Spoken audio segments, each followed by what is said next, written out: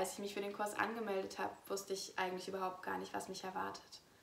Ich habe mich darauf gefreut, einen Weg zu gehen, der zu mir selber führt. Ich bin im Endeffekt aber einen Weg gegangen, der mich noch so viel mehr gelehrt hat als nur das. Ich habe nicht nur angefangen, viel tiefere und intensivere Beziehungen zu Menschen aufzubauen. Ich habe eigentlich gelernt, was es heißt zu glauben. Das war eine sehr, sehr besondere Erfahrung für mich, weil ich ähm, bin konfessionslos und ich bin auch ungläubig aufgewachsen. Und für mich ist das alles eigentlich nur entstanden im Rahmen der Gemeinschaft, weil wir eben gemeinsam Gottesdienste gefeiert haben. Wir haben gemeinsam gebetet und gesungen. Wir haben gemeinsam Tagebücher geschrieben und wir saßen gemeinsam da und haben über unser Leben reflektiert.